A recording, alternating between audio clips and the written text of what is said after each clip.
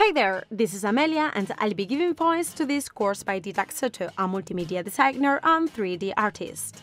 This course is for those initiating in 3D and will be learning to create a low-poly scene in Cinema 4D. We'll be using primitives and quite simple techniques in order to create from scratch a scene like the one on the screen.